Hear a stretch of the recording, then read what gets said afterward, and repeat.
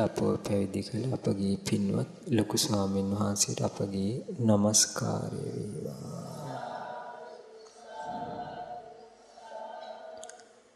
එමෙන්ම මෙම පුණ්‍ය භූමියේ වැඩ සිටින අවසර නායක පින්වත් ස්වාමීන් වහන්සේ ඇතුළු සියලු සංඝ පිරිසෙන් අවසර ශ්‍රද්ධාවන්ත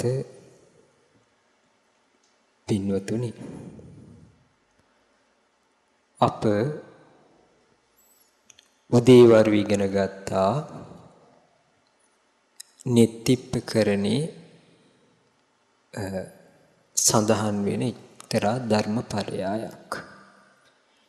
ඊට ඉස්සෙල්ලා සතිය බුදු සුවඳේ ඊට ඉස්සෙල්ලා චූටි කොටසක් ඉගෙන ගත්තා. අද සවස් වරුවේ මේ අපි ඉගෙන ගන්නවා මේ දහවල අපගේ ශාස්ත්‍රුන් වහන්සේ තුල පවතින යම් යම් ආශ්චර්යවත් වූ ගුණයන්ගින් බිඳක් අන්ධකාරයෙන් යුක්ත ලෝකෙක බුදුරජාණන් වහන්සේලා පහළ වෙනවා. ඒ අඳුරු ලෝකයේ ආලෝකවත් කරන්නේ බුදුරජාණන් වහන්සේලාගේ ඒ මහා ප්‍රඥාවෙන් මේ අන්ධකාර ලෝකේ ආලෝකමත් කරනවා. ඒ බුදුරජාන් වහන්සේගේ සිත තුල තියෙනවා ආශ්චර්යවත් වූ මහා ගුණ සම්භාරයක්. හරියට කියන එක කොයි වගේද? ආකරයක් වගේ.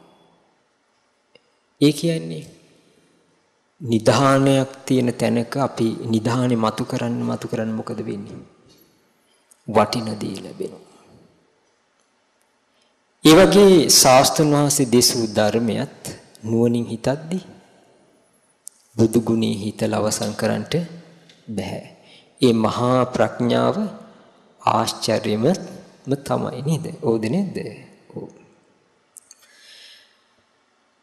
පින්නතුනි අප දන්නවා දැන් අපගේ ශාස්ත්‍රූ බුදුරජාණන් වහන්සේට මහා පිරිවරක් හිටියා. දිව්‍ය බ්‍රහ්ම සුර අසුර මනුස්ස ශ්‍රමණවරුනි මහා පිරිසක් පිරිවරා ගත්තා. භාග්‍යවතුන් වහන්සේට සුදු ඡත්‍රයක් ඔසවගෙන හිටිය කවුද? සහම්පති නම් වූ බ්‍රහ්ම රාජයා. මහා බ්‍රහ්ම පිරිස් උපස්ථාන කළා. සද්දෙවිඳු පවන්සැලු. සතරවරම් දෙව් මහරජදරුවෝ දිසාවල රැකවරණය සලසන. භාග්‍යතුන් වහන්සේගේ පාත්‍රය තවත් දිවුරු දරා ගන්නවා. භාග්‍යතුන් වහන්සේට ගෞරවයට දෙපැත්තේ මහා පිරිවරක් දේව පිරිසක් පැමිණෙනවා. මෙවන් වූ ආශ්චර්යවත් වූ උපස්ථානයක් දෙවරු අපගේ ශාස්ත්‍රඥ වහන්සේට සැලසුවා. ඒ ගැන සඳහන් වෙන තැනොත් තියෙනවද නැද්ද? තිබෙනවා. අපි දන්නවා මේ දඹදිව තලයේ බුදුරජාණන් වහන්සේ වැඩ ඉද්දි තථාගතයන් වහන්සේ විමසනවා අවුරුදු 8ක් එතකොට බුදුරජාණන් වහන්සේ බුද්ධත්වයට පත් වෙලා ලක්දිරණි බුද්ධ ශාසනේ පිහිට. ආනන්ද ස්වාමීන් වහන්සේට කියා සිටි ආනන්දේනි 500ක් 이르දිමතුන් සූදානම් කරා. එතකොට කපිලවස්තුවේදී 이르දිමත් රහතන් වහන්සේලා 500 නමකට ආරාධනා කළා ආනන්ද ස්වාමීන් වහන්සේ. අපගේ ශාස්ත්‍රඥ වහන්සේ දැන් බලන්න මේ තීරණය අරගෙන හැමදේම හැම කෙනෙකුගේම සිත මොකද උනේ ස්කෑන් කළා. සුමන සමිද්දි නාරජු ඉන්නව කොහෙද? දෙවුරම් විහිරි අධිග්‍රහිතව ඉන්න දිව්‍යම නාග කෙනෙක් නේද? නාගරාජෙක්. දැන් මේ අනාගත උරුමෙත් ඔහුගෙන් වෙන්න තියෙන දේත් කවුද දකින්නේ? බුදුරජාණන් වහන්සේ. සුමන සමිද්දිනාරජු දන්නවද ඒ ගැන නැහැ සුමන සමිද්දිනාරජුන්ට බුදුරජාණන් වහන්සේ කියා හිටියා නාරජුනි එහෙනම් සූදානම් වෙන්න. කුමකටද? මේ ලක්දිරන්ට වඩින ගමනට ඔබත් මාත් සමග යා යුතුය. සපු ගහක් ගත්ත ඊර්දියෙන් බුදුරජාණන් සේවන සලසන්න කුඩයක් කොට. 이르දිමත් මහරහතන් වහන්සේලා සමග ශාස්ත්‍රඥ වහන්සේ අහසට පැන නැග්ගා. ඒ ගමනට මහා දේව පිරිසක් දැන් සම්බන්ධයි. යාපනයේදී ආරාධනාවක් ලැබුණ බුදුරජාණන් වහන්සේට කොහෙට වඩින්ටද? කැලණි පුරවරයට නාරජ කෙනෙක්ගේ මණියක්කිත කැලණියට වැඩියා. ඊට පස්සේ සමනලගිරි මුදුනේ සිරිපතුල පිහිටවනු. දීගවාපියට වැඩියා. තිස්ස මහරාමයට වැඩියා. එතනදී මණිමේකලා දෙව්දුවට නිතන පවරන්නේ නේ. එතකොට රුවන්වැලි සෑය පිහිටපු තැනට වඩිනවා සමුවත් ස්විං වැඩි ඉන්න විශාල රූප කියන දෙවියන්ට එතන රකින්න පවරනවා. ඊට පස්සේ මේ ආදී වශයෙන් බුදුරජාණන් වහන්සේ වඩිමින් වඩිනව කොහෙටද? ඕ සීරු විලට. ඇයි අනාගතේ ලලාට ධාතුන් වහන්සේ පිහිටන්ට උරුමි තියෙන තැන. වැඩලා බුදුරජාණන් වහන්සේහි වැඩ ඉඳමින් සුමන සමිද්දි නාරජුන්ගේ මූණ දිහා බැලුවා. ඊට පස්සේ බුදුරජාණන් වහන්සේ නැවත නැවත බලනවා. නාරජු බැලුවා මේ මොකද? ශාස්ත්‍රඥ වහන්සේ මා දෙස දැන් කීප විටක් බැලුවා. පැඳගෙන අහන ස්වාමීනි මාගෙන් විය යුතු දෙයක් තිබේද? නාරජුනි තිබෙනවා. ස්වාමිනී කුමක්ද? නාරජුනි ඔබ මෙතන ආරක්ෂා කළ යුතුයි ඔබ මෙතන නවතින්න. හා හා ස්වාමීනි කිව්වා. භාග්‍යතුන් වහන්සේගේ දෙතිසක් මහා පුරුෂ ලකුණින් සෝභමහාන වූ අපගේ ශාස්ත්‍රඥ වහන්සේ දිවා රාත්‍රියේ මගේ මේ නේත්‍ර ඇස් දෙකින් මම ඔබ වහන්සේ දැක දැක ඉන්නේ. මට ඒක අහිමි වෙනවා කියලා. සිංහ රාජ්‍යයක් ලෙනින් ඉවතට විත් සිංහ ගර්ජනා කරන්නාසේ දෙවියන්ට බබුන්ට ඔබ වහන්සේ ධර්ම චක්‍රය ප්‍රවර්තනය කරනවා. දිවා රාත්‍රියේහි මා ඊ ධර්මය ශ්‍රවණය කරනවා ස්වාමිනී. ස්වාමිනී මට නම් බෑ කිව්වා. හා හා එහෙම කියන්න එපා. එහෙම කියන්න එපා. නාරජුනි ඔබ කකුසඳ බුදුරජාණන් වහන්සේ ලෝකේ පහළ වෙච්ච යුගයක ඒ ධාතුන් වහන්සේලා මෙතන තැන්පත් වුණා. සමහරට පාරිභෝගික වස්තුන් වෙන්න පුළුවන්. ඒ කාලේ ඔබ වරණින්ද නමින් මෙතන ආරක්ෂා කළා. දැන් දැක්කනේ කොහිදද බුදුරජාණන් වහන්සේ ස්කෑන් කළේ? කොහිදද? ජේතවනාරාම දඹදිවදී වඩින්ට කලින් කෙනා ඉන්නවා ගේට්ටුව ගාව. කවුද? සුමන දැන් නාරජ්ජුරු දන්නවද මේ ඉතිහාස? නෑනේ. ඊට පස්සේ කියනවා නාරජුනි ඔබ ජයසේන නමින් කෝනාගමන බුදුරජාණන් වහන්සේගේ ධාතුන් වහන්සේලා ඊට පස්සේ මෙතන ආරක්ෂා කළා. කාශ්‍යප බුදුරජාණන් වහන්සේගේ කාලේ දීඝසාල වගේ නමක්කින් යුක්තව ඔබ මෙතන ආරක්ෂා කළා කිව්වා. මාගේ ලලාට ධාතුන් වහන්සේත් ඔබ ආරක්ෂා කළ යුතුයි. මේක උරුමයක්. හවුද නේද? එසේනම් ස්වාමිනී මම නවතිනවා. බුදුරජාණන් වහන්සේ දඹදිව තලයට වැඩිය සපුමල් තුනක් එතෙන්ට පූජා කළා. තුන් වටක් 이르දීන් ප්‍රදක්ෂිනා කළා. සමවත් සුවෙන් වැඩි ඉඳලා අහසට පැන නැගලා දඹදිවට වැඩියා. ඉන්දා නාග මානවිකාව සුමන සමිද්දිනා රජුගේ අම්මහනෝ මාගේ පුත්‍ර රත්නේ කොයි? නාග මානවිකාව පුතා ලංකාවේ කිව්වා. කොහෙද? ත්‍රිකුණාමලිය පැත්තේ. සේරු නුවර තේරුවිල ආසන්නි වරාහසොණ්ඩ කියන පොකුණ පිහිටපු තැන අන්න ඉන්නවා කිව්වා නාපිරිවරත් එක්ක කෝටි ගානක්. ස්වාමිනී මට සමා වෙන්න ඕනේ. ඒයි. අදින්මතු ඔබ වහන්සේගේ දර්ශනය මට අද ඉඳින් නෑ කිව්වා. ඊයයි.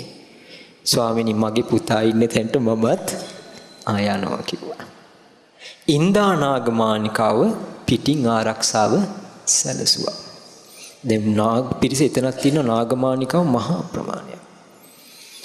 බුදුරජාන් වහන්සේ ජීවමාන වැඩිද්දි කාශ්‍යප මහ රහතන් වහන්සේට කියනවා ලලාට ධාතුන් වහන්සේ පිහිටන්නේ ලංකාවේ. පරම්පරාවෙන් පරම්පරාවට පවරන්ට බුදුරජාණන් වහන්සේ පිරිනුවම් පෑව ධාතුන් වහන්සේලා වෙන්නුණා ලලාට ධාතුන් වහන්සේ මල්ල රජදරුවන්ගේ අතේ.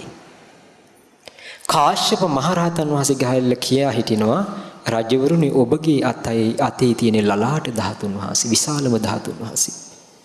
බුදුරජාණන් වහන්සේ කිව්වේ ඉන්දියාවට උරුම නෑ. ඔබට උරුමත් නෑ. ඒක අපට දෙන්න. අයිති කාටද? ලක්දිරණී මිනිසුන්ටයි.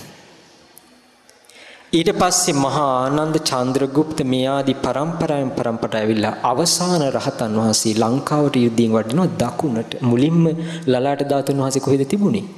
දකුණේ. දකුණේ අයට සතුට. බුදුරැස් ධාරා විහිදෙන්න ගත්ත ආශ්චර්යවත් සිද්ධි වෙනවා. බොහෝ මිනිස්සු වන්දනාමාන කරන සිල්වන්ත ගුණවන්ත වුණා. ඉන්මත්තේ කාවන්තිස්ස රජුරු ඊට පස්සේ මහා නාග රජුරු ධාතුන් වහන්සේ නමක් හෙව්වා. මහා කාල උපාසකතුමා හරහා දැනගත්තා. රහතන් වහන්සේ ගාවට ඇවිල්ලා සුවඳ කල 16කින් නාල කරලා රජුරු ඉල්ලා හිටිනවා ධාතුන් වහන්සේ මට දෙන්න. රහතන් වහන්සේ බලනවා. ඔබගේ පරම්පරාවෙන් බිහි වෙන කාවන්තිස්ස රජුරු මෙවන් වූ චේතියක් චෛත්‍යයක් ගොඩ නගනවා. ඔහුටයි මේ උරුමේ තියෙන්නේ. ඔහුට කවදා හෝ පවරන්න මේ අනාවැකිය රන්පතක සටහන් කරන්න. දැන් ඔන්න මුණුබුරාගෙන් මුණුබුරාට මුණුබුරාගෙන් මුණුබුරාට රන්පත යනවා. කාවන්තිස රජුරවන්ට ලලාට ධාතුන් වහන්සේ උරුමයි. චොල්ලපිණ්ඩපාතික තිස්ස කියන රහතන් වහන්සේ විහාර මහදේවිගේ සහෝදරයෙක්. එතකොට බලනවා රජ්ජුරුවන්ට තියෙන අනාගතයේ බුදුරයන් වහන්සේගේ වචනයක් චෛත්‍යයක් ගොඩ නැගෙනවා කියලා රජ්ජුරුව දැන් වයසයි. ආයුසේ අඩුයි. රජ්ජුරුව ප්‍රමාදයි. රජතුමනි ප්‍රමාද නොවන්ට ඔබේ ආයුෂය ස්වල්පයි ගැමුණු කුමාරයට රාජ්‍ය පවරලා කාවන්තිස්ස රජ්ජුරුව යනවා සේරුනුවරට සේරුනුවර සිව රජ්ජුරුව නංගි සෝමාවතී දේවිය ගිරියාබා රජුරුවත් එතනින් නම් ඒ වගේම ඒ ආසන්නෙම තමයි දලදා වහන්සේ තැන්පත් වෙන්නේ මහින්ද රහතන් වහන්සේ ජයසීන රජුන්ගෙන් ලබාගෙන. අර ද්‍රෝණ බ්‍රහ්මණයේ ඇඟිලි අතර හංගගත් ධාතුන් වහන්සේ නාලුවට ගෙනිච්ච කවුද? ආන. ජයසේන නාරජු ඔච්චරක් නෙමෙයි තවත් ඒවා කොලා. මොකද්ද? අවසාන මොහොතේදී කාවන්තිස්ස රජුරු කියනවා එතනින් රහතන් වහන්සේ නමකට කේස ධාතුන් වහන්සේලා අපිට අවශ්‍යයි. අපේ ආර්යයන් වහන්සේලා අපිට ප්‍රමාද නොවි ලබා දෙන්න කටයුතු කළොත් රජතුමනි ඔබ කලබල වෙන්න එපා. සුදුසු කාලයේදී සිදු වෙනවා. සිව මහරහතන් වහන්සේ දිහා බැලුවා. දැස් පියාගත්තා. සිව මහරහතන් වහන්සේ පොළවේ කිමිදුනා. දැන් යනවා භූමින්දර කියන නාලෝකෙට.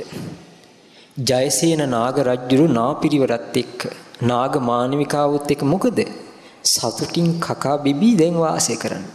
ඈත තියා ශ්‍රමණේක. ශ්‍රමණවරුන්ට මෙහි ගනුදෙනු නෑ.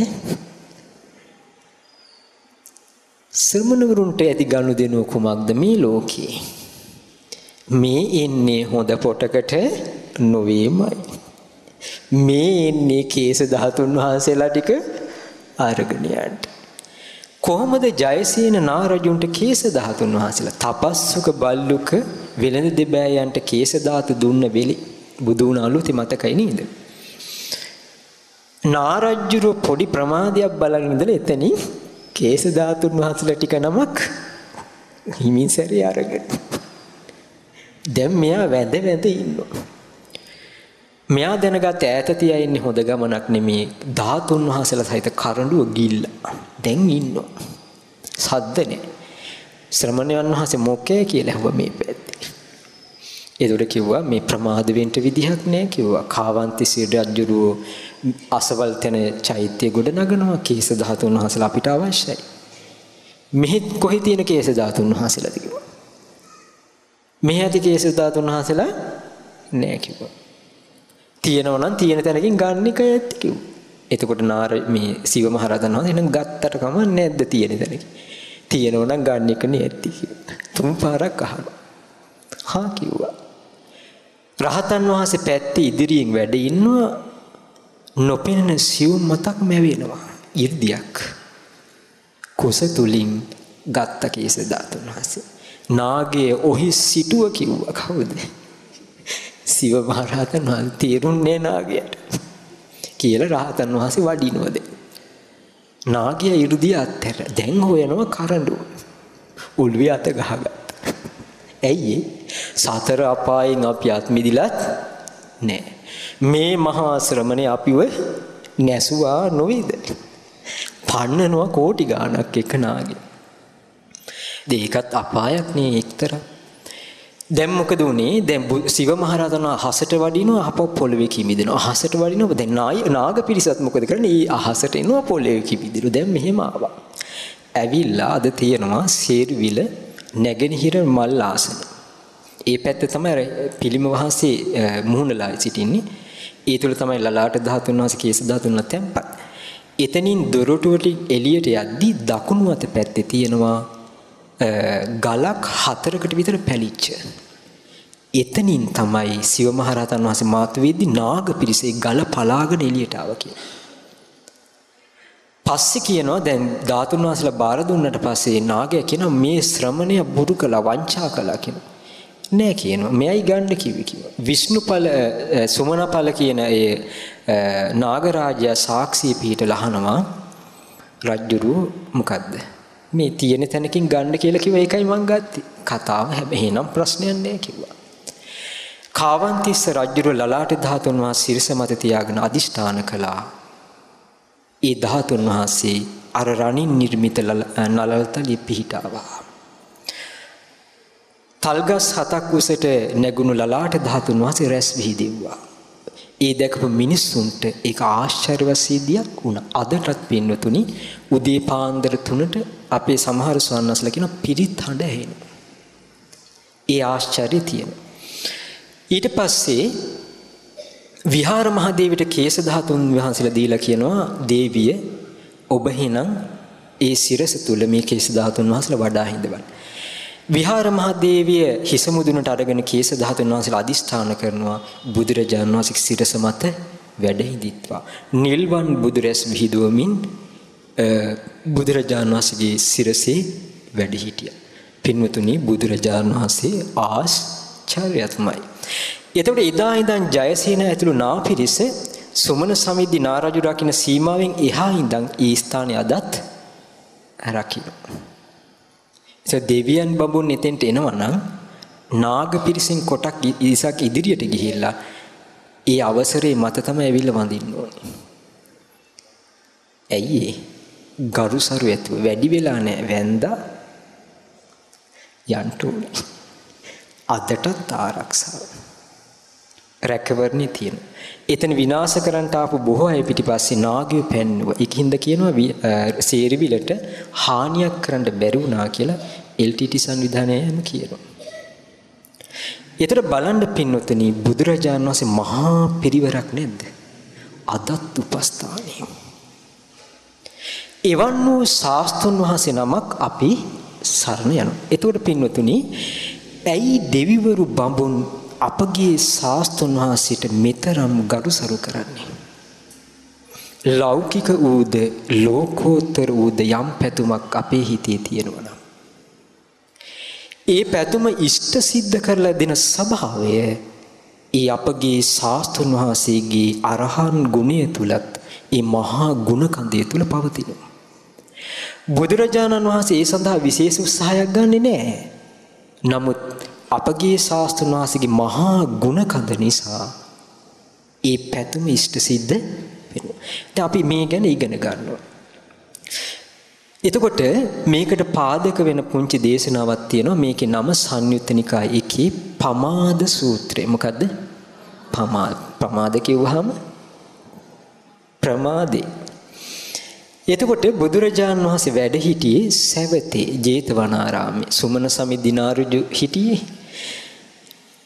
එතකොට බුදුරජාණන් වහන්සේ සැවතේ වැඩ ඉද්දී විවේක සුවේන්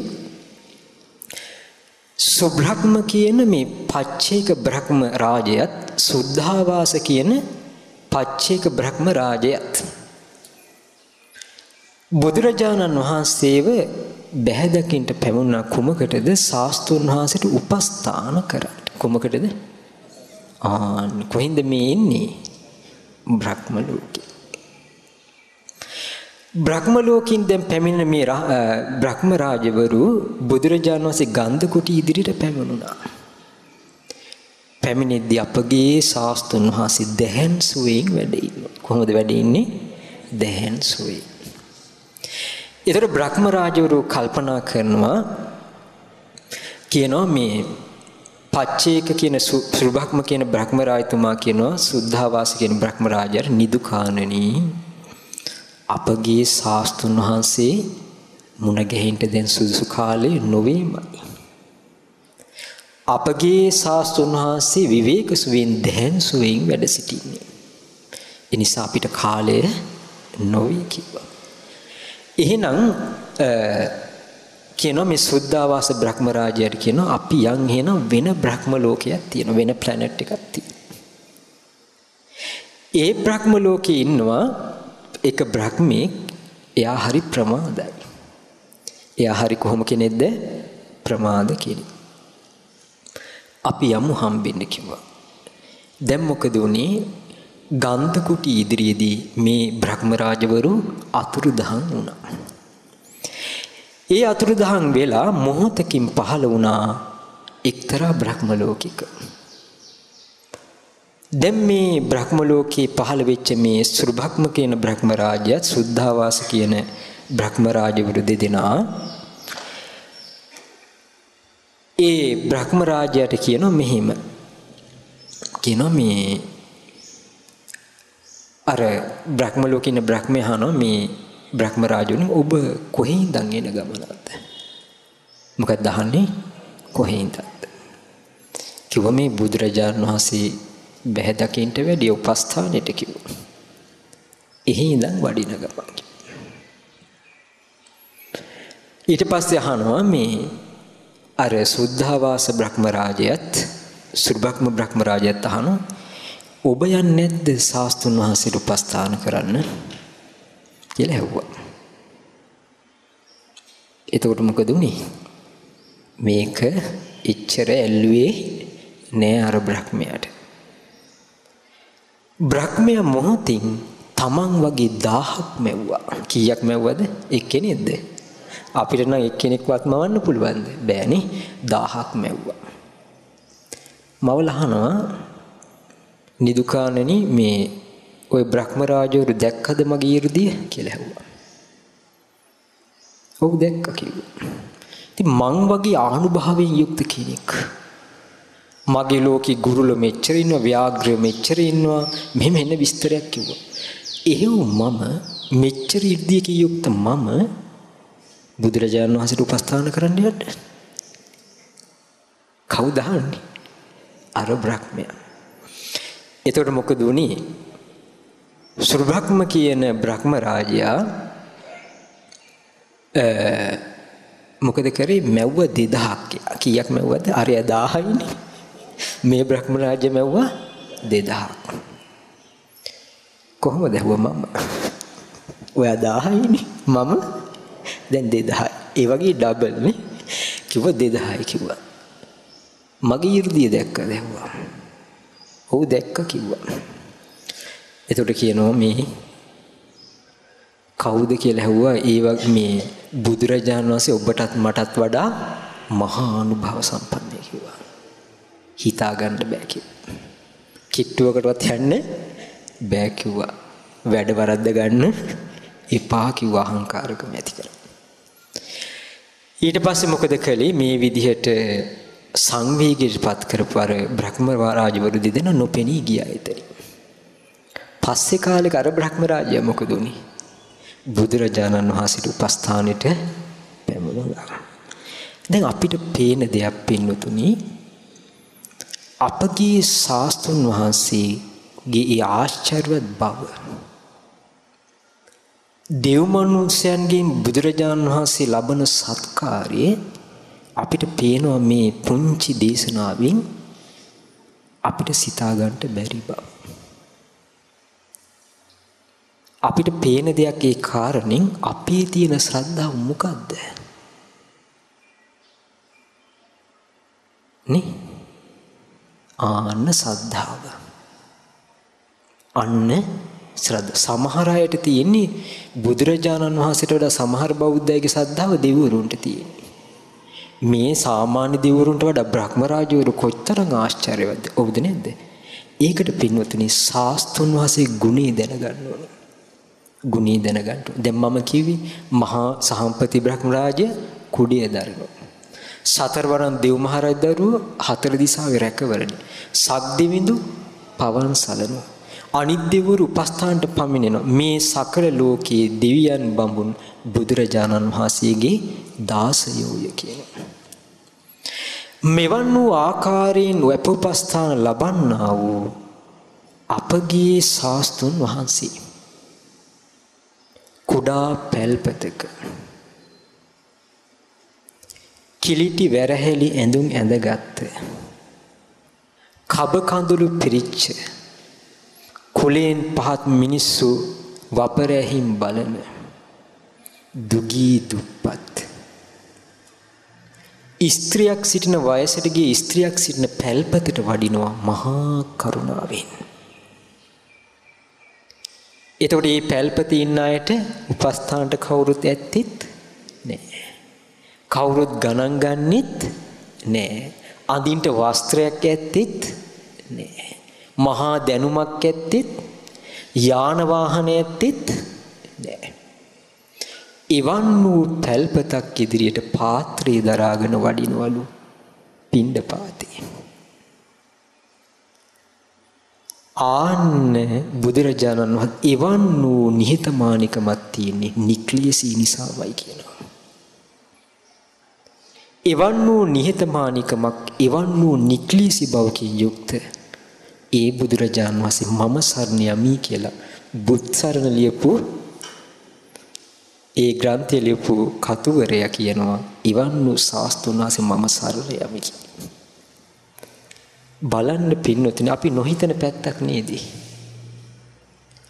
නික්ලේසී නැත්තම් මේක වෙන්න විදිහක් නෑමයි. අන්න සරණ තියෙනවා. අතරමන් වූ සත්‍යයන්ට පිහිට තියෙන්නේ කොතනද? බුදුරජාණන් වහන්සේ සරණ යාම තුලයි. දැන් මෙන්න මේ ලෝකය අපි තේරුම් ගන්න ඕනේ. අහලා තියෙනව නේද සක්වලේ සක්වල කියලා කියන්නේ ලෝක ධාතුවක් කියන්නේ. ලෝක ධාතුවක සක්වලක ලෝක කීයක් තියෙනවද? කීයක් තියෙනවද? කීයද? 31ක් තියෙනවා. කීයද? 31ක්. අපි ඒව ඉගෙන ගන්නවා. මේ ලෝකෙ ගැනත් අපි දැනගන්න ඕන. ඒ තමයි මේ ලෝකයේ නිට්ටය එකක්ද අනිත්‍ය එකක්ද? අනිත්‍ය වූ ලෝකයක්. මේ ලෝකේ අපි හිතමු හිස් අවකාශي ගැන මොකක් ගැනද? හිස් අවකාශ. ඒ කියන්නේ ආකාශය කියන්නේ වලාකුළු පොළව ගහකුළ නැති හිස් අවකාශي අපිට පටන් ගත්ත දවසක් හිතා ගන්න පුළුවන්ද? පුළුවන්ද? හිස් අවකාශي නෑ. හිස් අවකාශي පටන් ගැනීමක් තියෙන්න නම් හිස් අවකාශي නැති වෙච්ච දවසකුත් ලෝකේ තියෙන්න ඕන. එහෙම තිබුණාද? තිබුණේ නෑ නේද හිතා ගන්න බෑ. එන හිස් අවකාශي ලෝකේ නැති වෙන දවසක් තියෙයිද? නෑ හිතා ගන්න එහෙනම් අපිට පැහැදිලි ග්‍රහවස්තු ඉරහඳ තාරකත් ලෝකේ එදා ඉඳන් තිබුණ. හැබැයි ඒව නැති වෙනවා ඇති වෙනවා. එහෙනම් අපිට පේනවා ලෝකෙ මැව්වා කියන පදනම මත ගොඩනගෙන සියල්ල බොරුවක්. ඒ බොරුව තුල පිහිටලා අදහගෙන මිනිස්සෙක් සුගතිය යන්නේ නෑ දුගතිය යනවා. මිත්‍යා දෘෂ්ටිය නිසා. හැබැයි බුදුරජාණන් වහන්සේ දේශනා කරන ලෝකේ ආරම්භය අවසානයේ දකින්න බෑ. ලෝකේ හේතුන්ගෙන් හැදිච්ච දෙයක්. මෙන්න මේ ලෝක ධාතුව තුල පින්නතුනි පවතින ග්‍රහලෝක ඉරහඳ තාරකාවල ප්‍රමාණය කියන්ට බෑ. මං අහලා තියෙන සමහර අටුවාචාරින් වහන්සේලා කියනවා මේ සක්වලේම ලෝක ධාතුවේ අබ වලින් පුරවලා එක අබෑටි එක අබෑටි මේ සක්වල මේ සක්වල කියලා තියන් ගියත් අබෑටි ඉවර වෙනවා මිස ලෝක ඉවර වෙන්නේ නෑ. බුදුරජාණන් වහන්සේ වදාරන්නේ කොහොමද? අතිසීන් වේගෙන් ඊතල හතරක් හතර අතට අති වේගෙන් විදිද්දි බිම වැටෙන්න කලින් කෙනෙක් ඊතල හතර ඇවිලුවොත් ඔහු වේගවත් කිව්වා. ඊට වඩා වේගයකින් යම් කෙනෙක් ගමන් කරමින් එක කෙලව එක දිශාවකට යනවා ලෝකේ කෙලවරක් දකින්න. ලෝක ඉවර නෑ. බුදුරජාණන් වහන්සේ ප්‍රඥාව මේ සියල්ලට පැතිරෙනවා. වැහිලා නෑ කියනවා. මෙන්න මේ ලෝක ධාතුව තමයි බුදුරජාණන් වහන්සේලා විස්තර කරමින් කියා දෙන්නේ. දැන් අපි මේ ලෝක ධාතු ගැන චුට්ටක් මොකද්ද ඉගෙන ගමු. ඒ ලෝකවල උපදින්න ඕන නම් මොකද කරන්න සමහර ලෝකවල උපදින්න නම් පව් තමා ඕනේ. සමහර ලෝකවල උපදින්න පුළුවන් ශාස්ත්‍රුන් වහන්සේ ගැන ශ්‍රද්ධාව පිහිටවගෙන ඒ අවවාදි තුල පිහිටියොත් මේ ලෝක තමයි අපි කාම භව රූප භව අරූප භව කියලා මොනවද? වෙන් කළේ. හොඳට අහගන්න. හොඳට අහගන්න. ලෝක කීයද? 31යි කාම ලෝකේ තියෙන සුගති ලෝක මොනවද තියෙන්නේ? කාම ලෝකෙට අයිති සුගති ලෝක. මොනවද කාම ලෝක? ආ නෑ නෑ නෑ කාම ලෝකේ මොනවද තියෙන්නේ රූප, ශබ්ද, ගන්ධ, රස, පහස. මේවට ඇලිච්ච ලෝක මොනවද? කාම ලෝක. මොනවද මේවට කියන්නේ? කාම ලෝක. එක ලෝකෙක දැන් ඉපදිලා අපි පිනින්ද මොකක් හරි පිනක්. අපි අත්දැකීම ලබනවා. මේ ලෝකෙ මොකද්ද? ආ බුදුරජාණන් වහන්සේලා පහළ වෙන්නේ මනුස්ස ලෝකෙ. ඇයි මෙතන ඉඳන් ඉහළට තමයි ධර්ම දෙන්න පුළුවන්. දිව්‍ය ලෝකයක පහළ වුණත් අපිට පුළුවන් දෙහෙට යන්න බණ අහන්න බෑ. දෙවියන්ට මෙහෙන්න බැරිද? ආ ඒ හින්දායි බුදවරු මේ ලෝකේ පහළ වෙන්නේ. එකක් තමයි මොකද්ද? මනුස්ස ලෝකේ. මොකද්ද? ආ ඊළඟ ලෝකේ මොකක්ද? චාතුම් මහරජිකේ. මොකද්ද? ආ චාතුම් මහරජිකේ දිව්‍ය ලෝකේ අධිපති කවුද? වෛශ්‍රවණ දිව්‍ය රාජයා. කවුද? ආ යක්ෂයන්ට අධිපති. බුදුරජාණන් වහන්සේ ප්‍රතිඥා දෙන මොකද්ද? භික්ෂු භික්ෂුණී උපාසක උපාසිකාවන්ට අමනුස්ස පිරිස ඉන්න පුළුවන් නාග පිරිස ඉන්න පුළුවන්. ඊට පස්සේ මේ පිරිසකින් බාධාවක් ආවොත් ඉන්දෝ සෝමෝ වර්ණෝච බහරද්වාජෝ ප්‍රජාපති චන්දනෝ කාම සිට්ඨෝච කින්නු ගණ්ඩු නිගණ්ඩුච පනාදෝප මඤ්ඤෝච දේවසූතෝච මාතලී චිත්තසේනෝච ගන්ධබ්බෝ නලෝ රාජා ජනී සබ්බ සාතාගිරෝ හේමවතෝ පුන්නකෝ කරතියෝ ගුලෝ සීවකෝ මුච ලින්දෝච වෙස්සාමිත්තෝ යුගන්දරු. මේ විදිහට කියනවා නේද? මේ දිව්‍ය සේනාධිපතිවරුන්ට කන්න ලව්වක් කරන්න. මා බුදුරජාණන් වහන්සේ ධර්මයේ සංඝයා සරණ ගිහිල්ලා ඉන්නේ මට මෙහෙම කෙනෙක්ගෙන් බාධා. ඔළුව හත් කඩකට බලනවා ආඥාව. මොකද ආඥාව. ධර්මයේ හැසිරෙන්න බාධා කළ. කර්මයක් බලවත්ව තිබුණොත් අමාරුයි පින්නතු දෙවරු බලනවා කර්මයක්ද? මෙයා නිකන් එහෙම මෙන් දාන සෙල්ලමක්ද? බලල තමයි ක්‍රියාත්මක වෙන්නේ. එතකොට මේ ලාභය ලැබෙන්නේ කාටද? තිසරණේ පිටු අනිත් අයට ලැබෙන්නේ අනිත් අයට ලැබෙන්නේ තිසරණේ ආරක්ෂා කරන්න කියන්නේ ඒකට. ඒ සද්ධාව හරියට තියෙන. එතකොට ඒ කවුද වෛශ්‍රවණ දිවර? දැන් සතරවඩ දත රාෂ්ට්‍ර ඊට පස්සේ මොක විරෝධ විරූපාක්ෂ කියලා ඉන්නවනේ. ගාන්ධාරෝ පිරිසට යක්ෂ පිරිස කුම්භාණ්ඩ පිරිසට නායකත්ව දරන පිරිසක් ඉන්නවා. ඒ පුත්‍ර රත්නය කියන්නේ දෙවරුන් කියන විදිහට කටයුතු කරන පිරිසක් ඉන්නවා. ඈත තියා වන්දනා කරනවා කාටද? බුදුරජාණන් වහන්සේ. එතකොට චාතුම් මහරජිකේ අයිති මොන ලෝකෙටද? සුගතියක් කාම ලෝකෙට. කොහෙටද? එහෙත් මොනවද තියෙන රූප, ශබ්ද, ගන්ධ, රස, අමම අපරිග්ගහ. මමත්වය එතන නෑ. ඒ කියන්නේ සක්කාය දිට්ඨිය දුරු කරලම නෙමෙයි. සක්කාය දිට්ඨිය දුරු කරපු අයත් ඉන්නවා ගෞතම බුදුරජාණන් වහන්සේ නිසා. දැන් අපි ගත්තොත් මැස්සෝ ඉන්නවනේ හැම තැනකම ඉන්නවනේ. උන් අල්ලන් දින්නේ මෙතන මෙතන කියලා. අපිනේ වැටවල් ගහන් බැඳලා හැමතැනම අල්ලන් ඉන්නේ. ඒ ලෝකෙ හැම නැති හින්දා මමත්වයේ බලවත් නැහැ කිය. සක්කාය දිට්ඨි දුර වෙලාම නොවේ. ඒකට කියනවා චාතුම් මහරජ. චාතුම් මහරජික ඉන්නවා බුදුරජාණන් වහන්සේ සරණගේ මහා පිරිස්. මනුස්ස ලෝකෙත් ඉන්නවා. ඊට පස්සේ තියෙනවා මොකද්ද? තාවතින්සි. කොහෙද? චාතුම් මහරජිකට වඩා එහි ආයුසි වැඩි. ඒත් කාමයන්ට බැඳිච්ච ලෝකෙ. ඊට පස්සේ යාමි. තාවතින්ස යාම චාතුම් මහර මේ ලෝකවල වලට බලය පවත්වන කවුද? සක්දෙවිඳු. විශේෂයෙන් තාවතින්ස යාම දෙදෙව්ලොවට අධිපති කියන. කවුද? සක්‍ර දේවේන්ද්‍ර. ඒ බුදුරජාණන් වහන්සේ සරණ ගිය දෙවි කෙනෙක් තමයි කවුද?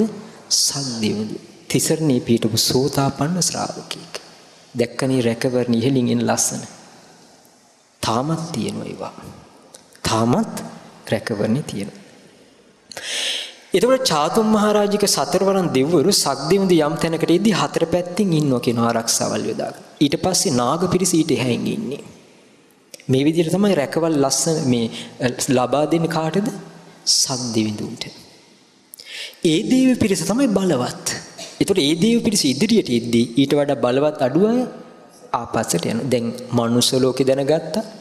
චාතුම් මහරජිකේ තාවතින්සට වඩා ආයුෂ වැඩි යාම්. ඊට පස්සේ තුසිත ඉන්න අනාථ පිණ්ඩික සිටුතුමා ඇතුළු බොහෝ ගොඩාක් අය එහි තමයි සිත පිහිටවන්නේ. ඇයි ධර්ම අවබෝධ කර බොහෝ පිරිස් ඉන්නවා පින්වන්ත අයයි උපදින්නේ. පින් ගොඩක් කරන්න ඕනේ. සිල් රකින්නත් ඕනේ. ඒතර චාතුම් මහරජාගේ තාවතින්ස යාමයට වඩා පින් කරලා තියෙනවනේ කොහෙ යන්නද? ඈ? තුස්තියන්. ওই පින් කරලා හරියන්නේ නැහැ කියනවනේ. කිට්ටු වෙන්නවත් අමාරු වෙනවා.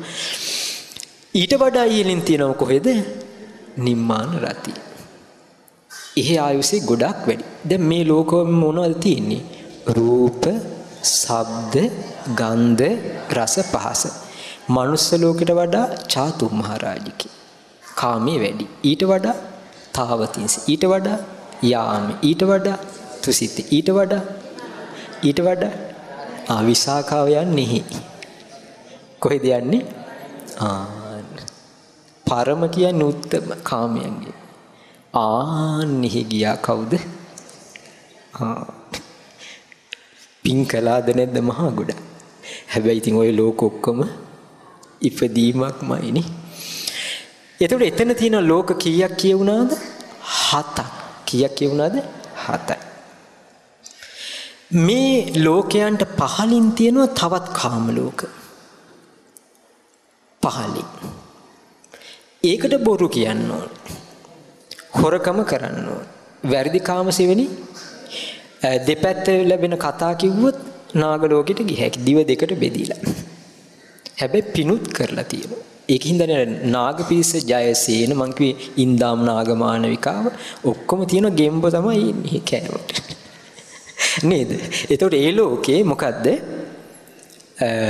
නාග ලෝක ලෝකේ බොහෝ කාමයන් තියෙන හැබැයි ධර්මය අවබෝධ කරන්න බැරි ලෝකයක්. ඒතර කියා දෙනවා ඒක තිරිසන් අපායටම අයිති එකක්. නමුත් දිව්‍යමය දෙයක්.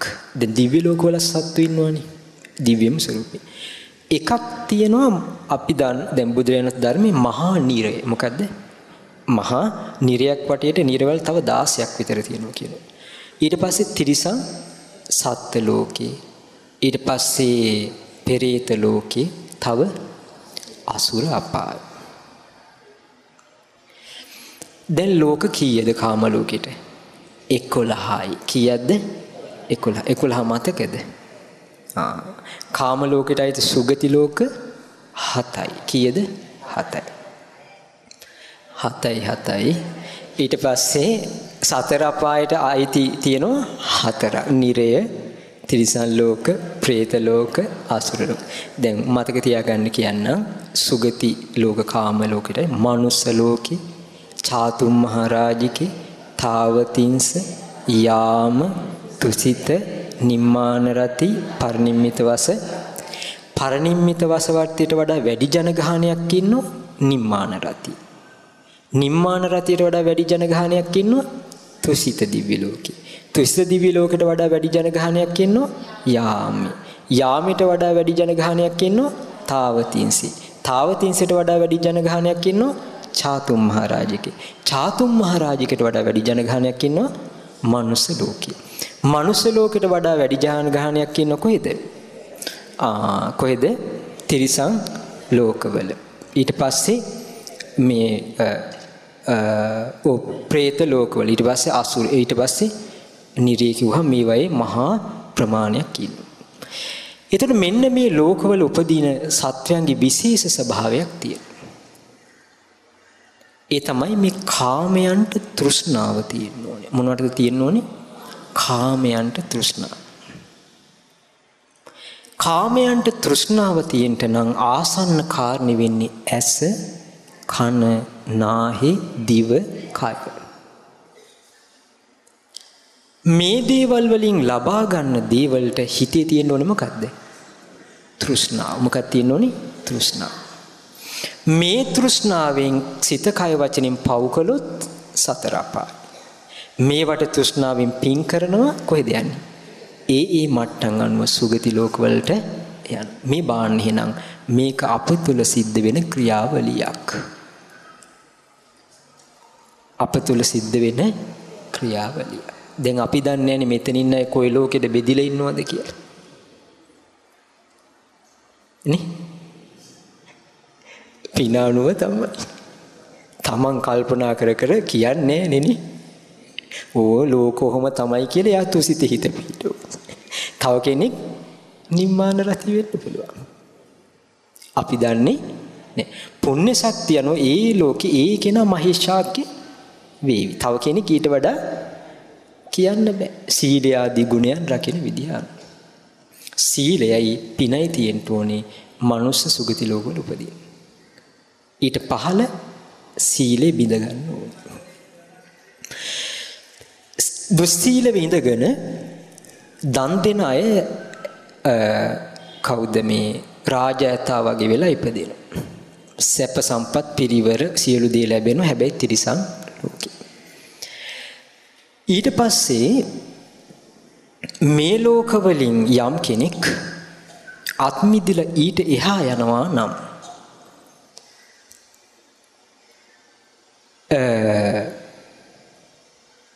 ඒ ලෝක ගැන අපි දැනගන්න. තව එකක් අපි ඊක පස්සේ කතා කරමු. එතකොට ඊළඟට තමයි ඊළඟට බුදුරජාන් වහන්සේගේ ධම්සක් පැවතුම් සූත්‍රය අහන්ට දේව පිරිස් පැමුණාද නැද්ද? ඔව්. දැන් අපි කියවන්නේ තෘෂ්ණාවට ආසන්න කාරණේ මොකද? ඇස කන නාහි දිව කයට ඒකෙන් ලැබෙන දේවල් වලට හිතේ තියෙන බලවත් ආසාව. එතකොට මේ මනස කියන ඉන්ද්‍රිය ගත්තාම ඒක තමයි කියනවා අවිද්‍යාවට ආසන්නම කාරණේ. ඇයි ඒ? මම ඒකත් මෙතනදි කියන්නම්. දැන් අපි ගමුකෝ බලු පැටියෙක්. එයාට ඇස කන තියනවද නැද්ද? තියෙනවා. එයාට දාන බත් වලට කෑමට එයා ආසද නැද්ද? ඌගේ ඔළුව අත ගන්නවට කැමතිද නැද්ද? ජුජ් ජුජ් කියලා අඬ ගන්නවට කැමතිද නැද්ද? කැමති. එහෙනම් මොනවටද එයා කැමති? පංච කාමයට. කූඩුවේ දාලා ඉද්දී එයා කල්පනා කරන් ඉන්නේ මොකද? මාව එළියට ගන්නේ කොයි වෙලේද? හොඳ පුටුවක මොකද? එතිලා නිදාගන්නේ වකුටු වෙලා කොයි වෙලේද? ඔව්ද නැද්ද? ආ. දැන් මෙයා කල්පනා කරනවද මේ බලු පැටියා මෙහෙම? මේ ලෝකේ පටන් ගත්තේ කවද්ද? ඌ ඒවද කල්පනා කර කර ඉන්නේ ගේට්ටුව ගාවට වෙලා. මේ ලෝකේ අවසන් වෙන්නේ අම්මපා කවද්ද? ඈ මේ ලෝකේ මරණින් මත්ත මුකුත් නැද්ද? කවුරු හරි දෙවියෙක්වත් මවලද? මෙයා කල්පනා කරනවද? හිතක් නැද්ද? ප්‍රඥාව නැහැ. දෙයිවට දැන් ඒක කියන්නේ මිනිස්සයා එයා හිතනවා. දැක්කනේ මනස එයාට ඒ සිතන්න පුළුවන්කම මෝහේ පැත්තට ගලනවා සමහර විට. එතකොට තිරිසන් ලෝකේ ඒක තියෙන අභ්‍යන්තරය මනුස්ස ලෝකෙ ඉපදුනොත් අර අවිද්‍යාව බලවත්ව තව තව ප්‍රකට වෙලා පේන්න ගන්නව නැතුවා නොවේ තියෙනවා. මේ හරි පුදුමයි. මේ මානසික ක්‍රියාකාරීත්වය. ලෝක විදු කියලා බුදුරජාණන් වහන්සේ කියන්නේ නිකන්ද? මේ විස්තරේ බලන්න. හරි. ඊට පස්සේ අපි අහලා තියෙනවා මේ බ්‍රහ්ම පාරිසජ්‍ය කියලා ලෝකයක්. මොකද්ද? බ්‍රහ්ම පාරිසජ්‍ය. ඊට පස්සේ බ්‍රහ්ම පුරෝහිත. ඊට පස්සේ මහා බ්‍රහ්ම කියලා බ්‍රහ්ම ලෝක තුනක් තියෙනවා. මේ බ්‍රහ්ම ලෝකයේ තුනී විශේෂත්වයක් තියෙනවා. බ්‍රහ්ම පාරිසජ්‍ය කියන බ්‍රහ්මවරු මහා එළියක් තියෙනවා. දැන් ඔය උරුවෙල කාශ්‍යප, ගයා කාශ්‍යප ඉන්න තැනට සතරවරන් දිව් මහරජ දරු වෙනවනේ. එතකොට කාශ්‍යප දකිනවා මහා එළියක් බුදුරජාණන්සේ කුටියට. ඇවිල්ලා අහනෝනේ කවුද? සතරවරන් දිව් රජවරු ආවා. ආ ඕකේ. එතකොට හිතනවනේ මේ මහා ශ්‍රමණයන්ට සතරවන් දෙවුරුත් උපස්ථාන කරනවා එන හැබැයි මං වගේ රහත් නෑ කියලා නෙමෙයිට හිතෙන්නේ. ඊට පස්සේ දවසක එනවා සක්දින්දු අර ඔක්කොටම වඩා එළියයි. ඒ කවුද සක්දෙවිදු කියන එතකොටත් මෙයා ඒකමනේ හිතන්නේ. ඊට පස්සේ බ්‍රහ්මෙක් කියනවනේ ඔක්කොටම වඩා එළියයි. ආන් මේ වගේ මේ බ්‍රහ්ම පාරිසජ්‍ය කියන ඒ බ්‍රහ්ම ලෝකේ බ්‍රහ්මවරු මහා ආලෝකයෙන් යුක්තයි. ඊට වඩා ආලෝකයෙන් යුක්තයි බ්‍රහ්ම පුරোহিত බ්‍රහ්ම රාජවරු. ඊට වඩා ආලෝකයෙන් යුක්තයි කවුද? මහා බ්‍රහ්ම කියන බ්‍රහ්ම රජ. දැන් බුදුරජාන් වහන්සේ මෙයාලව දකින්න. ඒතර මේ බ්‍රහ්ම ලෝක තුනේ උපදින්නේ කවුද? පළවෙනි ධ්‍යානෙ උපදව ගත්ත අය. කවුද උපදින්නේ? ආ ඒ කිව්වේ නීවරණ වලින් හිත මුදවගෙන කායික සැප මානසික ප්‍රීතිය චිත්ත ඒකාග්‍රතාවයේ සහිත විතක් ਵਿਚාර සහිත පළවෙනි ධ්‍යානයේ තියෙන සත්වය. එතකොට මේ පළවෙනි ධ්‍යාන සංඥාවෙන් උපදින්නේ ඒ බ්‍රහ්ම ලෝක තුනීම දෙව් බ්‍රහ්මවරුන්ගේ සිතේ ස්වභාවය කොහොමද? එකයි. හැබැයි කයින් කයින් වෙනස්ද නැද්ද? වෙනස්. ඒ හින්දා ඒ ලෝක බෙදෙනවා නානත්ත කායා ඒකත්ත සංඤේ. බලන්නනේ බුදුරජාණන් වහන්සේ හොයාගත්තේ. අපිද ආ හිතන්නනේ සුළු පටුද අපගේ ශාස්ත්‍රුන් වහන්සේ. ආශ්චර්යයි අද්භූතයි. අපි මේ නම්වත් දැනගෙන හිටියද? නැහැ.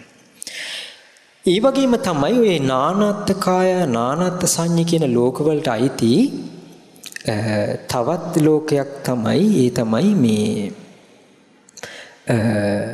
අපේ මනුස්ස ලෝක මේ දිව්‍ය ලෝකවල දෙවරු රූපෙන් වෙනස් එතකොට මේ බ්‍රහ්ම ලෝකවල තියෙන නානත්ත් කාය ඒකත් සංඤ්ඤ කියලා ප්‍රථම ධානය අර අපි කාම ලෝක ගැන කතා කරේ. ඒ ලෝකෙ තියෙන්නේ කයනුත් වෙනස්. සංඥාවෙනුත් වෙනස්. සංඥාවෙනුත් වෙනස්. හැබැයි මම දැක්ක එක දේශනාවක විනිපාත කියලා සත්වය ගැන කොටසක් ගැන කියන කවුරු ගැනද විනිපාත. ඒ කියන්නේ පින්වතුනි මෙයාලා පෙරේතියොත් නෙමේ හැබැයි චාතුම් මහරජික දිව්‍ය ලෝක වලටම අයිති හැබැයි ඒ වගේ සැපක් මිදින්නේ නැහැ. මේ කොටසට පුළුවන් ධර්මය අවබෝධ කරන්න යම් අයට. දැන් ඔයාලා අහලා තියෙන පුනබ්බසු මාතා පියංකර මාතා කියලා අර අනුරුද්ධ සංයුත්තේ එක තැනක තියෙනව නේද? කියන්නේ පියංකර මාතාව කියන පුතේ සද්ද නැතුව ඉන්න කියනවා. ශාස්ත්‍රඥ වහන්සේ ධර්මයේ කියනවා කිව්වා. නිහඬ වෙන්න. ඒතර කියනවා නංගිත් නිහඬයි අම්මේ මමත් නගලන්නේ කියනවා. පුතේ කොහොම හරි මේ පිසාච ලෝකෙන් ගැලවෙමු කියන. ධර්මය අවබෝධ කරලා සෝතාපන්න වෙනවනේ. ඒතර මේ විනිපාත ඒ ලෝකෙත් අයිති කියනවා නානත්ත් කාය ඒකත් සංඤී කියන ස්වභාවයකට. එතකොට ඔන්න අපි ඉගෙන ගත්ත ප්‍රථම ධානයෙන් උපදින ලෝක තුනක් මොකද්ද? බ්‍රහ්ම පාරිසජ්ජ. ඊට පස්සේ බ්‍රහ්ම පුරෝහිත. ඊට පස්සේ මහා බ්‍රහ්ම. ප්‍රථම ධාන. ඒගොල්ල තමයි නානත්ත් කාය ඒකත් සංඥා. ඒ රූපේ වෙනස්. බබලනවා එකිනෙකාට ඒ ලෝක වලින් බබලීම වැඩි. හැබැයි පළවෙනි ධාන සංඥාව තියෙන්නේ. ඒ මානසික ස්වභාවය තියෙන. ඊට පස්සේ කෙනෙක් මේ ලෝකේ ওই විදිහට සමාධිය හදාගෙන පළවෙනි ධ්‍යානෙ උපදවගෙන මේ ඔක්කොම සමතයක් දැන් තියෙන්නේ. කායික සැපයි මානසික ප්‍රීතිය තියෙනවා හිත එකඟයි මොනවද නැති. සිතිවිලිය විතර්ක නැහැ. විතක් ਵਿਚාර සිත නිසල්මනේ. ප්‍රනීතයි පළවෙනි ධ්‍යානට වඩා. මෙහෙම වඩන පිරිසක් ඉන්නවනේ. මේගොල්ලෝ උපදින ලෝකයක් තියෙනවා. ඒ තමයි එකක් ඔයාලා ඇහලා ඇති ධම්සක් පැවතුම් සූත්‍රයේ ධම්සක් පැවතුම් සූත්‍රයේ අහන්ටාව දිව්‍ය ලෝක තියෙන්නේ. අර සාදුකාර පවත්තන්නේ. බ්‍රහ්ම මේ ධර්ම චක්‍රේ ප්‍රවර්තනය කළා කියලා. එකක් තමයි පරිත්තාබ කියන බ්‍රහ්ම මොකද්ද? පරිත්තාබ. ඊළඟ එක තමයි අප්පමානාභ. මොකද්ද? අප්පමානාභ. ඊළඟ ලෝකේ ආභස්සර. මොකද්ද? ආභස්සර. දැන් මේ ලෝකවල යම් විස්තර පින්වතුනි තියෙන්නේ කොහෙද? අටුවාවල තියෙන. ඒ විස්තරත් එක්ක තමයි මම මේ පොඩ්ඩක් ඔබට කියා දෙන්නේ. එතකොට මේ පරිත්තාබ අප්පමානාභ ආභස්සර කියන ලෝකවල උපදින්නේ පළවෙනි ධ්‍යානයේ තියෙන අය නොවේ. එයාලට තියෙන්න ඕනේ මොකද්ද? දෙවෙනි ධ්‍යානය. කොහොමද තියෙන්න ඕනේ? දෙවෙනි ධ්‍යානෙ උපදව ගත්තයි. මෙතන ඉන්නවද දන්නේ ලෝකේ යන්න පුළුවන් අය. ලේසි නෑනේ. හ්ම්. ඒතර මේ දෙවෙනි ධ්‍යානයෙන් යුක්ත අය තමයි මේ ලෝක තුනට යන්නේ. එයාලගේ ස්වභාවය තමයි අර ශරීරයෙන් නිකන් එක වගේ. එකට හිටියාම හොයන්න අමාරුයි. ඒකත්ත කායා සංඥාවේ වෙනස්කම් තියෙනවා. නානත්ත් සංඤිකේ. ඒ ලෝකෙ උපදින්නේ දෙවෙනි ධ්‍යානෙ උපදව ගත්ත අය. කවුද උපදින්නේ? දෙවෙනි ධ්‍යානෙ. දැන් ඔන්න ඒ ධ්‍යානෙ ඉක්මවා ගිහිල්ලා තුන්වෙනි ධ්‍යානෙ උපද ගන්න. ඒකේ මොකද්ද? කායික සැප තියෙනවා. මොනවද තියෙන්නේ? අර ආස්වාස ප්‍රාස්වාසි තාම තියෙනවා. එතකොට මේ කායික සැප තියෙනවා. සියුම්ම මානසිකව සැප දුක නෑ උපේක්ෂාව. මොකද්ද තියෙන්නේ? උපේක්ෂාව. මේ ලෝක තමයි පින්නොතින අර ධම්සක් පැවතුම් සූත්‍රයේදී සාදුකාර පවත්වන තව දිව්‍ය ලෝක කීපයක් තියෙනවා. මොකද්ද? පරිත්ත සුභ අප්පමාන සුභ සුභ කින්හ. බාන කියන්නේ පරිත්ත සුභ අප්පමාන සුභ සුභ කින්හ. මේ ලෝකෙ උපදින්නේ තුන්වෙනි ධානයේ තියෙන අය. කවුද? තුන්වෙනි ධානයේ තියෙන. ඒ ලෝකෙ උපදින අය ඉන්නවද? ඒ තුන්වෙනි ධානයේ තියෙන්නේ ඕනේ.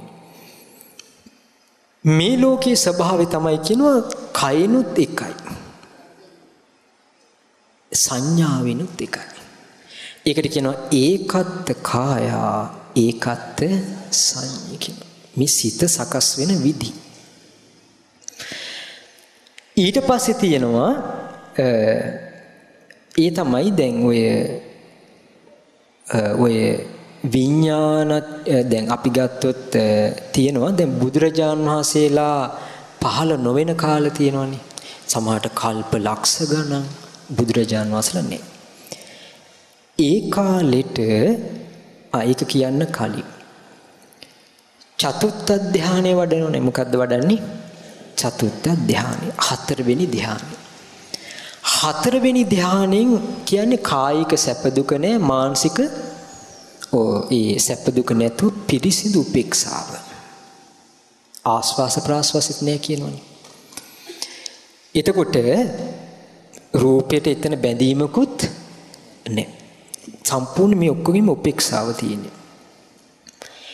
මේ ලෝකේ තමයි ඔබ අහලා ඇති මොකද්ද? වේහප්පල කියලා බ්‍රහ්ම ලෝකයක් අහලා තියෙනවද? ධම්සක් පෙතුන් සූත්‍රය කියනවනේ වේහප්පල.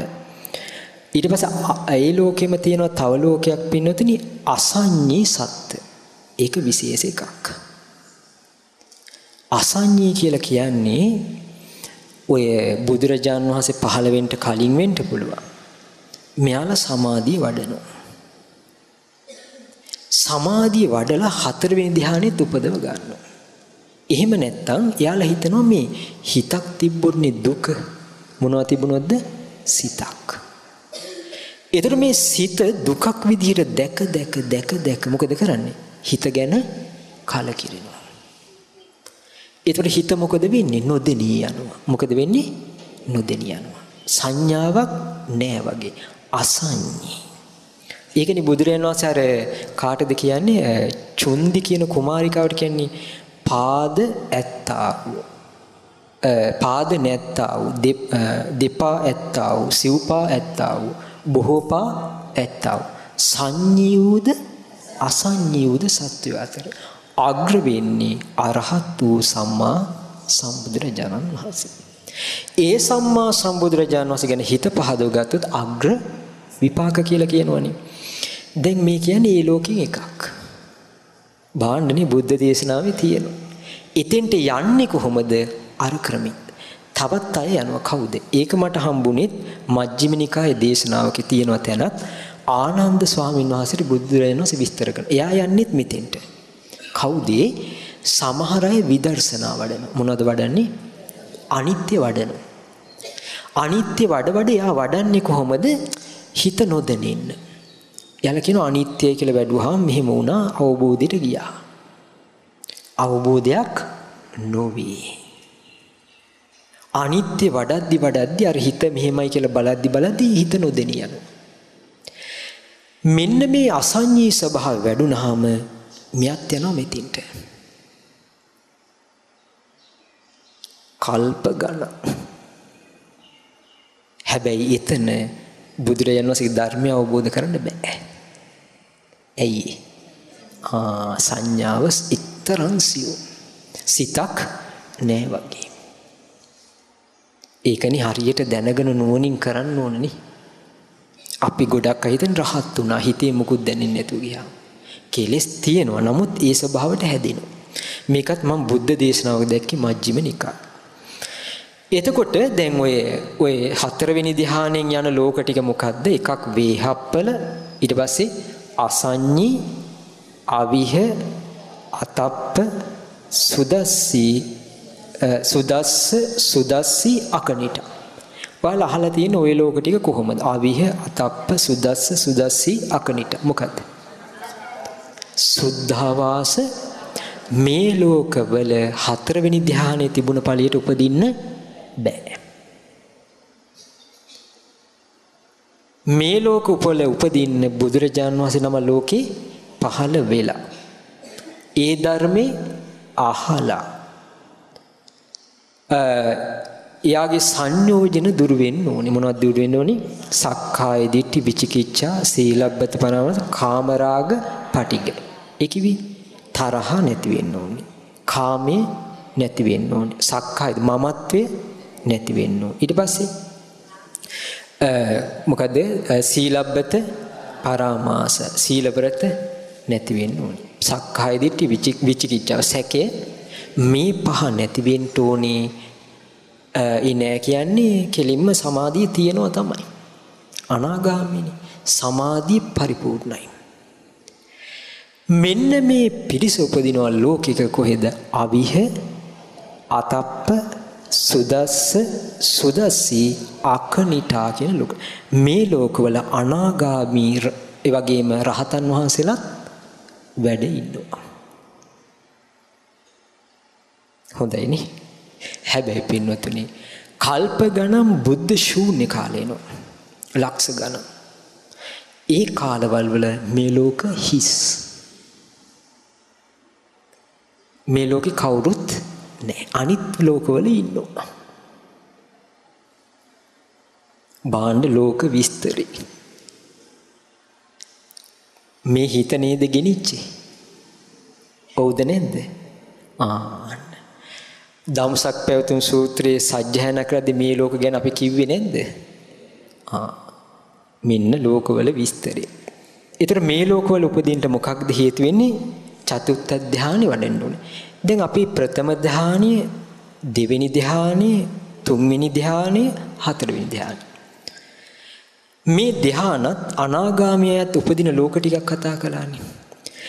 එතන තියෙනවා ලෝක කීයක්ද දැන් ඔක්කොම ලෝක ටික. එතන දැන් 27ක් කතා කළානේ. මේ 27න් 11ක් අඩු කරන්න බලන්න. එතකොට එනවා කීයක්ද? 16ක්. කීයක් එනවද? ආ. ඒ 16 අයිති රූප භවයට. මොන භවයටද? ආ. ඊට ඉස්සෙල්ලා 11ක් කතා කරේ. එයා කොහෙටද අයිති? කාම ලෝකෙට. මේ 16 අයිති රූප භවයට අයිති බ්‍රහ්ම ලෝක. කොහෙට අයිතිවද? රූප භවයට. දැන් තව ලෝක හතරක් තියෙනවා. ඒවට කියනවා අරූප බ්‍රහ්ම ලෝක මොනවද කියන්නේ? දැන් හතරවෙනි ධ්‍යානයෙන් පස්සේ කය දැනෙන්නේ නැහනේ. උපේක්ෂාවනේ තියෙන්නේ. සිතෙත් උපේක්ෂාව පැතිරිලා.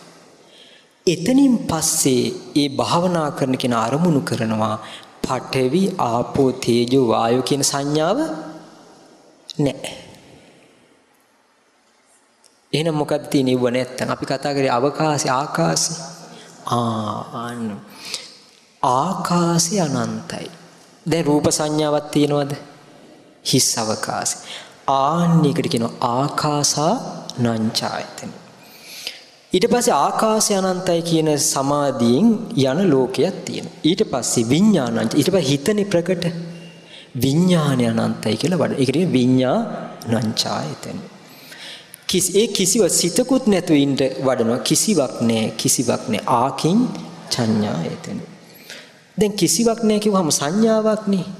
ඒ සංඥාවක් නැතුව ඉන්න වඩනවා. ඒකට කියනවා සංඥාවක් ඇත්තෙත් නැති නැති. නේව සංඥා මෙතන හතරයි. ඒවට කියනවා මොකද්ද? අරූපාවචර බ්‍රහ්ම ලෝක. අරූප බ්‍රහ්ම ලෝක. දැන් මෙතන හතරත් එක ලෝක කීයද? 30 කීයද? 31යි. කීයද? ආ දැන් සක්වලේ ලෝක ටික අඳුනගත්තා. ඔන්න අපේ සක්වල. ලෝක ධාතුවක්. එක ලෝක ධාතුවක්. සුමන සාමණේරයන් වහන්සේ කොහෙදද? මිහින්තලාවේදී. අර අපි පොඩි කන්දක් නගිනවනේ චූටි තියෙන්නේ. එතන ඉඳන් සමන්තා චක්කවාලේසු අත්‍රා ගච්ඡන්ත දේවතා හාත්පස සක්වල සිටින දෙවියන්ට හඬින් කතා කරන්නේ 이르දියකින් ඒතර අපිට පේන දෙයක් තමයි 이르දිමත් රහතන් වහන්සේලාට 이르දියක් තිබිලා තියෙනවා. මේ සක්වලට කතා කරන්න. ඒතර චූලනිකා සහ ශ්‍රී ලෝක ධාතුට වෙනකම් පුළුවන් අය ඉන්නවා. ඊට එහා යනවා බුදුරජාන් වහන්සේ. නේ? දැන් එතකොට මේ ලෝක 31ට මේ ඉරේ හඳ එළිය පැතිරෙනවා. මොකද්ද වෙන්නේ? මේ ඉරේ හඳ එළිය පැතිරෙනවා මේ ලෝක 31ට. බාන්න අපි ඉන්න ලෝක. දැන් එතකොට මේ ඉර හඳ ගමන් කරනවා සෑහෙන වේගකින්. ඒකත් බුදුරජාණන් වහන්සේ දේශනා කරන්නේ. දැන් එතකොට මේ ලෝක 31 වැඩි කරොත් අපි 1000න් ඒකට එතකොට දසලක්ෂයක් කියනවා. කීයක් කියනවද? දසලක්ෂයක්. කීයද?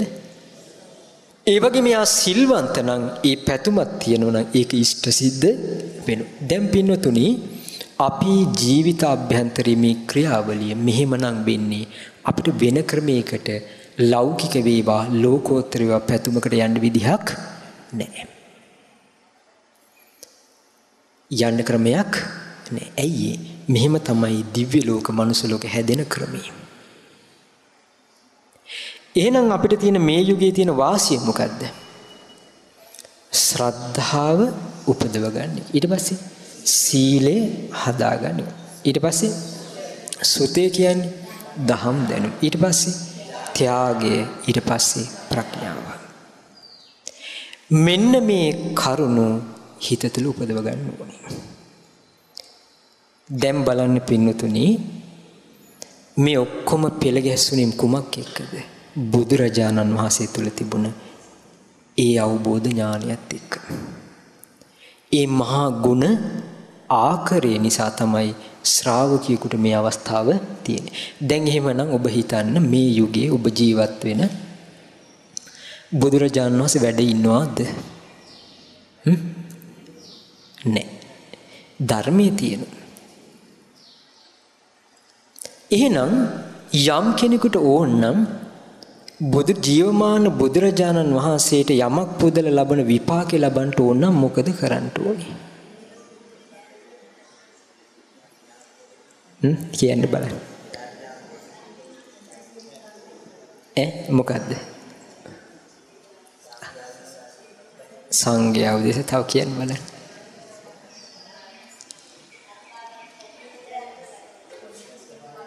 ඈ මොකද්ද? සද්ධාව උපදව ගන්න සද්ධාව තව ඈ සීලය මං කියන්න හොඳ කතාවක් මේ ගැන එක ලස්සන විස්තරයක් තියෙනවා දැන් ඔබ අහලා ඇති ගෞතම බුදුරජාණන් වහන්සේ වැඩ ඉන්න කාලේ මිනිස්සු බුදුරජාණන් වහන්සේ මල් පූජා කරේ නැද්ද? දම්පැන් පූජා කළේ නැද්ද? වැන්දි නැද්ද? හිත පහදව ගත්තේ නැද්ද? කළා. මහා විපාක භුක්ත විඳද නැද්ද? ඒ පින මුල් කරගෙන ධර්මය අවබෝධ කළාද නැද්ද? කළා. දැන් බරණැස වැඩ ඉද්දී එක උපාසිකාවක් දකින්න ආරංචි වෙනවා බුදුරයන් වහන්සේ වැඩලා. බරණැස පැත්ත හරි ප්‍රසිද්ධයිනේ කසීසලු වලට. මෙයා වියනෝ ලස්සන සිවුරක්. නවලා අතේ තියන් එනවා බරණැස බුදුරයන් වහන්සේ වැඩේ නිසිපතනාරාමයට. බුදුරයන් වහන්සේ වැඩ ඉන්නවා ඝන රත්තරම් පාටයි කියලා ඒ උපාසිකාවම කියනවා. බුදුරජාණන් වහන්සේ තමන්ගේ අතින් වියපු සිවුර පූජා කළා. වැන්ද. දැන් මෙයා වාඩි වුණා පැත්තේ. ළඟින් වාඩි වෙලා ওই වගේ. එවෙලේ බුදුරජාණන් වහන්සේ මෙයාව බලනවා. මේ ඇත්තිට මේ ත්‍යාගය වගේම තමයි ඇතුලේ නුවණක් තියෙනවා. චතුරාර්ය සත්‍ය ධර්මයේ දේශනා කරනවා. මෙයා මොකද උනේ? සෝතාපන්න වුණා. මැරුණා දෙවියන් අතර ඉපදුණා. කියනවා මම සෝතාපන්න වුණා. උනේ සිද්ධි අර සිද්ධිය කියනවා. දැන් දානීය විපාකෙකුත් ලැබුවද නැද්ද? සමහර අය කියනවා දන් දුන්න ඒකේ විපාකෙ ලබනවා. සීල විපාක තාම මට පටිසන් දුන්නේ නැහැ කිය. පින්නතුනි මේ යුගයේ තියෙන වාසිය තමයි අපිට කරගන්න තියෙන එක උපාසිකාවක් දකින්නවා ඈත තියා චෛත්‍යයක්. මොකද්ද දකින්නේ? ආ කාගේද? බුදුරජාණන් වහන්සේ. එහෙනම් බුදුරයන් වහන්සේ ජීවමානවද පිරිනුවම් පාලද? පිරිනුවම් පාල. කොහෙද? නාලන්දාවේ. කොහෙද? ආන්න. සාරිපුත්ත මහරහතන් වහන්සේගේ ගම්පලාට අතර ධාතුන් වහන්සේලා ලැබිලා. මේ උපාසිකාව ඇතුළ ඈත තියා දකින අපගේ ශාස්ත්‍රුන් වහන්සේගෙන්. පූජා කරන්න දෙන්නේ වැටකුළු මල් හතරක් කඩාගෙන අරගෙන යනවා පූජා කරන්න. මොකද වෙන්නේ? පූජා කරන්න හම්බුණාද? හම්බුන්නේ. ගවයෙක් කැනලා මැරුණා. ඉපදුනේ කොහෙද? සක්දිවිදු ඉන්න ලෝකේ තාවතින්ස ඉපදිලා. සක්දිවිදු දකින්න ලස්සන දෙවඟනක්. අහන මේ සොඳුරු තැනැත්ති ඉද්දිමත් දෙවඟන කොහි ඉඳන්ද කිව්වා. අසවල් ලෝකේ. මොකද්ද කළ පින කිව්වා. වැටකොළු මල් හතරක් අරගෙන ගියා පූජා කරන්න. පූජා කරන්න හම්බුනේ නෑ. පූජා කරන්න හම්බුණා නම් විපාක හිතාගන්න සක්දිවිදු ගාතාවකින් කියනවා බුදුරජාණන් වහන්සේ ජීවමාන වැඩ ඉද්දිත් පින්වම් පෑවට පස්සෙත් සමසිතක් උපදවගෙන යම් කෙනෙක් වන්දනා කරනවද පූජා පාත්වන සම විපාක තියෙනවා ආන්ගේ හින්ද බුදුරජාණන් වහන්සේ වදාලා තූපාහාර පුද්ගලයෝ හතර දෙනෙක් අතරින් බුදුරජාණන් වහන්සේගේ ස්තූප සතරමන් සන්දිවල ගොඩනගන්නේ. දක්කහම හිතෙනවා මේ බුදුරජුන්ගේ ධාතුන් වහන්සේලායි. දැන් ඔය සේරුවලීද්දි මලක් තිබ්බත් අතු ගෑවත් හඳුන් කූරක් අරන් ගියත් ජීවමාන බුදුරජාණන් වහන්සේටමයි. එහෙනම් ඒ සිත නම් තියෙන්නේ ඒ විපාකෙත් තියෙනවා. රුවන්වැලි සෑය තූපාරාමේ ධාතුන් වහන්සේලා තැන්පත් චෛත්‍ය රාජනන් වහන්සේලා දැකලා වන්දනා කරන්න. අර පින උපදිනවා. ඒ දේත් එක්ක ලෞකික පැතුමක්ද පතන්ට ඕනේ ලෝකෝත්තරද? ලෝක. දිට්ඨ ධම්ම වේදනීය එහෙම නැත්නම් උපපාජ්‍ය වේදින එහෙම නැත්නම් අපරා පරිය විපාකයක් විදියට පටිසන්දෙනවා. නිරේ යන්න කෙනෙක් සමහරට මේ කුසලේ බලවත් නිසා අර විපාකේ පසුවට ගිහිල්ලා මෙයා උඩට යනවා. අහපොවේ පිණ ඉවර වෙලා නිරේ යන්න කලින් එතනදී ධර්මය අවබෝධ කරගත්තොත් චතුරාර්ය සත්‍ය නිරේ പ്രേත ලෝක යන්නෙම නැහැ. පින්වතුනි ඔක්කොම හදාගන්න තියෙන්නේ ගෞතම බුදුරජාණන් වහන්සේ අරහං සම්මා සම්බුද්දයි කියලා හිත පහදවගෙන. එහෙනම් මේ අද ඔබට කියා දුන්නේ අරහම් බුදු ගුණෙත් එක්ක චූටි විස්තරයක්. ලෝක ටිකයි ඊට පස්සේ ඒවයි උපදින ක්‍රමෙයි ලෝකෝත්තර පැතුමකුත් ඉෂ්ට සිද්ධ කරගන්න විදිහට තමන්ගේ ගමන හදාගන්න. ඒ නිසා පින්වතුනි මනුස්ස දිව්‍ය ලෝකත් එක්ක සතර පාය දුගතියක් නිවනත් එක්ක මනුස්ස ලෝකේ චාතුම් මහරජිකේ යාමේ තාවතින්සි නිම්මාන රතිය පරිනිම්මිත වසවර්ති බ්‍රහ්ම පාරිසජ්‍ය බ්‍රහ්ම පුරোহিত මහා බ්‍රහ්ම බ්‍රහ්ම පාරිසජ්‍ය පරිත්තාබ අපමානාභ ආබස්සර ඒ වගේම පරිත්ත සුබ අපමාන සුබ සුබකින්න වේහප්පල අසඤ්ඤී අවිහ අතප්ප සුදස්ස සුදස්සී අකනිට. ඒ සියලු ඉදීම් දුගති. නිවනත් එක්ක සසඳද්දී ඒ නිසා අමා මහ නිවන ලෝකේ ශ්‍රේෂ්ඨ වෙනවා. ඔබ හැම දිනාට මේ උතුම් බුදුරජාණන් වහන්සේගේ ඒ අනන්ත බුදුගුණානුභාව බලයෙන් අනන්ත බුදුගුණ සුවඳින් අනන්ත බුද්ධාලෝකයෙන් ඔබ හැම දිනාටම සියලු යහපත ඇති කර ගැනීමේ වාසනාව උදා වේවා.